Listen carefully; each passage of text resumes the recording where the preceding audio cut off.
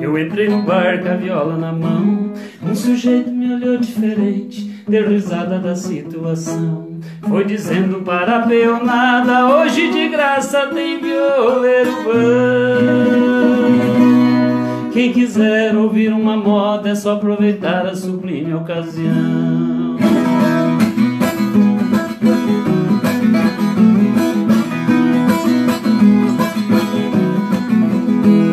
Nesse instante, ouvindo a conversa, um café eu pedi ao garçom. Continuei com a cabeça baixada, sem dar trela pra situação. Não liguei pro que tava ouvindo, esse sujeito não sabe o que fala. Se preocupa com a vida alheia, é um verdadeiro mala.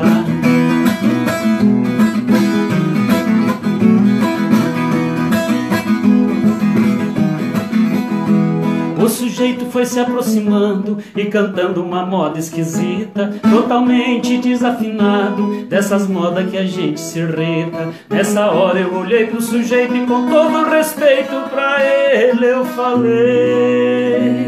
Você não canta, grita, pensa que agita e que a bola da vez.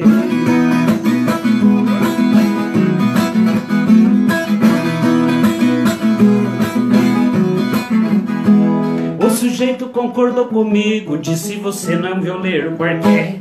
Geralmente os violeiros daqui só toca viola pra tomar uns mé. Você deve ser professor, pois tá na cara que é sua profissão.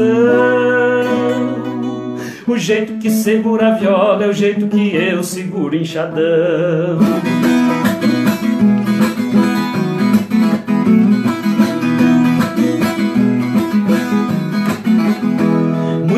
Eu falei pro sujeito, você tem grande percepção. Foi notar que na minha vida a viola é minha devoção. Ensino música pra todos, sempre com a viola na mão. A viola tá em todos os cantos, e principalmente em meu coração. Agora não te alegre. Sujeito me pediu desculpa, lamentando o fato acontecido. Perguntou onde é que eu ensino, pois quer que eu ensine seu filho querido. Disse a ele que meu endereço é claro como o céu azul. Fica no estado de São Paulo, em Monte Alegre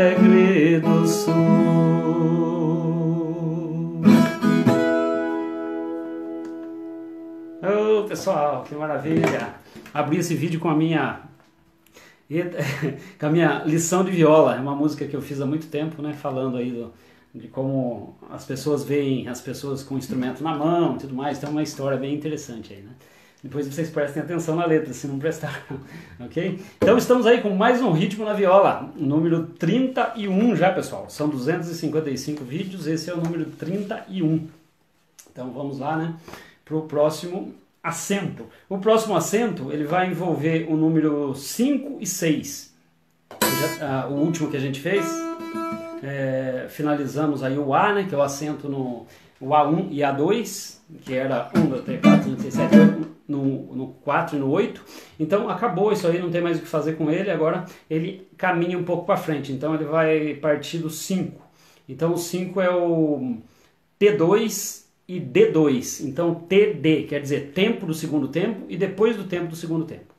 Trocando em miúdos, super fácil, basta você contar até 8 e no número 5 e 6 você executar. Então fica 1, 2, 3, 4, 5, 6, 7, 8, 1, 2, 3, 4, 5, 6, 7, 8, 1, 2, 3, 4, 5, 6, 7, 8, 1, 2, 3, 4, 5, 6, 7, 8, 1, 2, 3, 4, 5, 6, 7, 8, 1, 2, 3, 4, 5, 6, 7, 8, 1, 2, 3, 4, 5, 6, 7, 8, 1, 2, 3, 4, 5, 6, 7, 8, 1, 2, 3, 4, 5, 6, 7, 8, 1, 2, 3, 4, 5, sete, um, dois, três, cinco, seis. Um, dois, três, cinco, seis, sete, um, dois, três, cinco, seis, sete, um, dois, três, cinco, seis, sete, um, dois, três, cinco, seis, sete, um, dois, três, cinco, seis, sete, um, dois, três, cinco, sete, um, seis, sete, um, dois, três, cinco, seis, sete, um, dois, três, cinco, seis, sete, um, dois, três, cinco, seis, sete, um, dois, três, cinco, seis, sete, um, dois, três, cinco, seis, sete, um, né? Cinco, seis, sete, um, dois, três, cinco, seis então vamos lá para a escrita, porque através da escrita é que a gente vê se a gente realmente está evoluindo, né? Ou seja, só quem sabe ler e escrever é que realmente evolui, porque aí vê onde está, né? Vê onde está os pontos. Aí o Alexandre Savione, maravilha! Ao vivo aí. Então, vamos lá para a nossa escrita, então, de fato, né? Então vamos lá, o nosso responsável por tudo isso aí é o dicionário de ritmo, o livro Dicionário de Ritmo, onde a gente vê isso com calma. Então nos vídeos anteriores a gente viu o número 30, como está aqui. Então vamos abrir uma nova página. Nessa nova página, então, o estilo que estamos trabalhando, então, é o binário 4. Binário 4 significa que a nossa razão é 8, então aqui o número 31.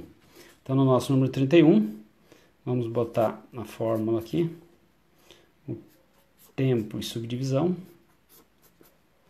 E aqui embaixo, então, o, eu vou ter 4 negativo, vou ter o meu T2 e o meu D2 e o meu 2 negativo para finalizar. Então eu vou ter isso aqui, ó. Certo? E trocando em miúdos, como eu disse, é o 5 e 6 contando até 8. E vamos botar o sinal de repetição. E aí vamos colocar o nome. Então o nome disso aqui é T2 e D2, tempo do segundo tempo e depois do tempo do segundo tempo. Então como os dois são do segundo tempo, então basta colocar TD. TD2.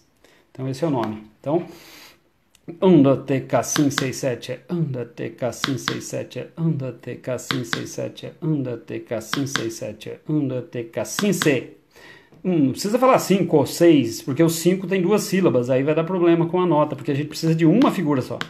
Então, onda TK 567, onda TK 567, onda TK 567, onda TK 567, certo? Sim, C. E agora eu vou colocar o tempo e fazer o motivo com a voz. Ó.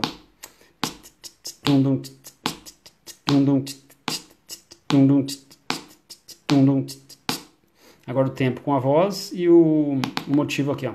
Então ficar tum tum tum tum tum tum tum tum tum tum e assim por diante. Então mais um pouquinho na vaiola, na nossa querida viola caipira. Então vamos lá.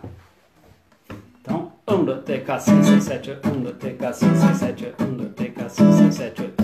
Não se preocupe com o visual, né? Se eu estou colocando o dedo aqui ali, preocupa com o lo local do som, ó. Onda TK567. Inclusive, quem nem quem não, não toca nada pode treinar o, o mental, né?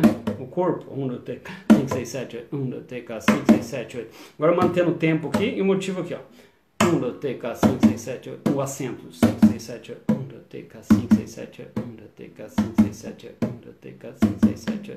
Agora o contrário under TK 567 under TK 567 under TK 567 under TK 567 under TK 667 under TK 667 under TK 667 under TK 667 under TK 667 under certo?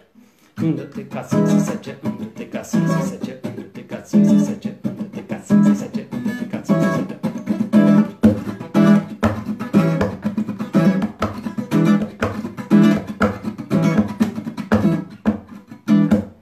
Pessoal? Então é isso. Esse foi mais um ritmo na viola. Não precisa ser muito longo, né? Então, um vídeo, mais um vídeo, número 31 de 255. Então é isso. Até o próximo vídeo. Um abraço.